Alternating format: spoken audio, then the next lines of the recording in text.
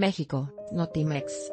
Guión La Junta Ejecutiva del Instituto Nacional Electoral, INE, aprobó la declaratoria de pérdida de registro de los partidos Nueva Alianza y Encuentro Social, pues ninguno de los dos alcanzó al menos 3% de la votación requerida por ley. En la elección presidencial pasada Nueva Alianza y Encuentro Social obtuvieron 1.02 y 2.78% de la votación válida emitida, respectivamente, informó el instituto en un comunicado.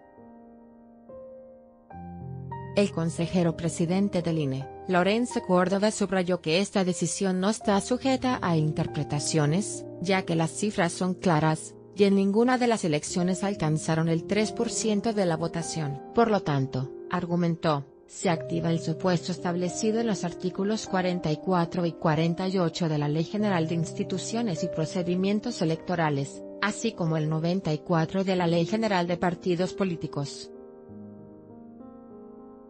Córdoba Vianello abundó que esta resolución prevé que, en las próximas 72 horas, los partidos involucrados presenten los alegatos o los elementos que estimen pertinentes, que serán valorados para sesionar en una segunda ocasión como Junta General Ejecutiva y presentar la resolución definitiva en la próxima sesión del Consejo General. El director ejecutivo de Prerrogativas y Partidos Políticos, Patricio Vallados, explicó que la votación válida para hacer este cálculo resulta de deducir de los votos recibidos los nulos y los correspondientes a las candidaturas no registradas.